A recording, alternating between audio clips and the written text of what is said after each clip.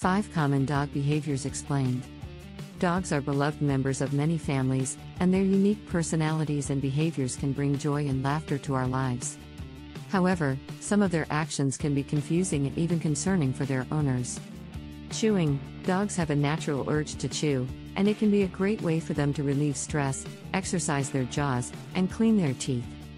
However, if your dog is chewing on inappropriate items such as furniture or shoes, it may be a sign of anxiety, boredom, or a lack of proper chewing toys.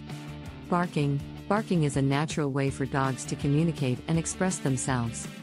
However, excessive barking can be a problem, especially if it's disturbing your neighbors or preventing you from getting a good night's sleep. To reduce barking, try to determine the cause of your dog's barking, such as boredom, fear, or excitement, and address it with training, behavior modification, or changes in their environment. Digging Dogs love to dig, and this behavior can be instinctual, especially for breeds that were originally bred for hunting or herding.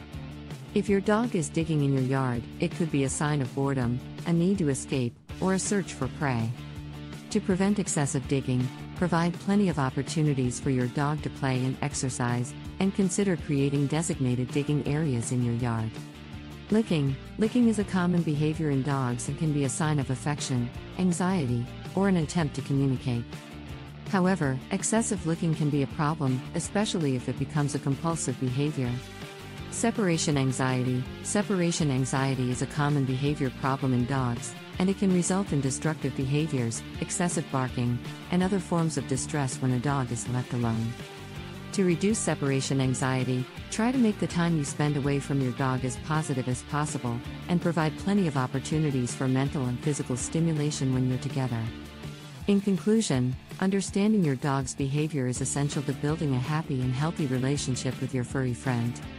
By paying attention to their actions and seeking help when necessary, you can ensure that your dog is happy and well adjusted.